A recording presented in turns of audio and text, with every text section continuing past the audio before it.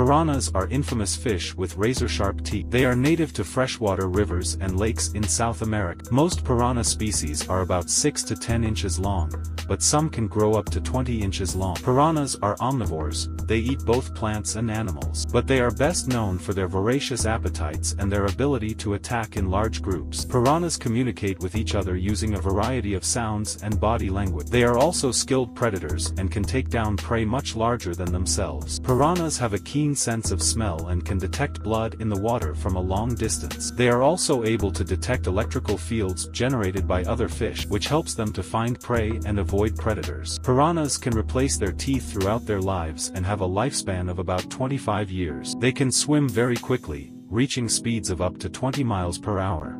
Piranhas are also known to eat other fish, and they will sometimes attack and eat larger animals, such as cattle and horses if they are wounded or have fallen into the water.